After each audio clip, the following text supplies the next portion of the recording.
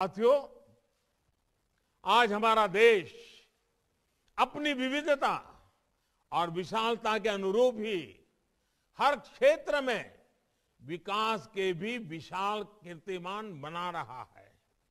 2021 में भारत ने करीब करीब 70 लाख करोड़ रुपए का लेन देन 70 लाख करोड़ रुपए का लेन देन यूपीए से, यूपीआई से किया है। डिजिटल ट्रांजैक्शन किया है।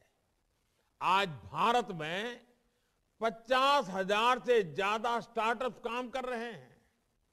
इनमें से दस हज़ार से ज़्यादा स्टार्टअप तो पिछले छह महीने में बने हैं। 2021 में भारत के नौजवानों ने कोरोना के इस कालखंड में भी 42 42 यूनिकॉर्न बनाकर एक नया इतिहास रच दिया है।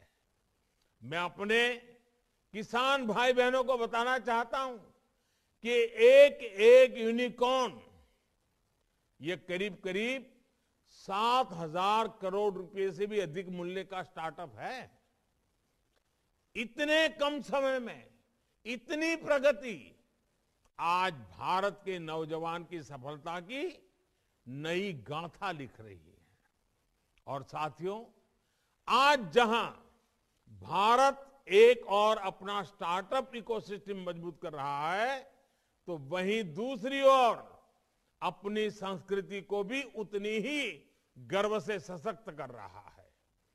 काशी विश्वनाथ धाम सुंदरीकरण परियोजना से लेकर केदारनाथ धाम की विकास परियोजनाओं तक आदि शंकराचार्य की समाधि के पुनर्निर्माण से लेकर माँ अन्नपूर्णा की प्रतिमा समेत भारत से चोरी हुई सैकड़ों मूर्तियों को वापस लाने तक, अयोध्या में राम मंदिर के निर्माण से लेकर धोलावीरा और दुर्गा पूजा उत्सव को वर्ल्ड हेरिटेज का दर्जा मिलने तक, भारत के पास इतना कुछ है। देश के प्रति पूरी दुनिया का आकर्षण है। और अब जब हम अपनी धरोहरों को मज़बूत करने में लगे हैं तो निश्चित तौर पर टूरिज़्म भी बढ़ेगा और तीर्थाटन भी बढ़ेगा।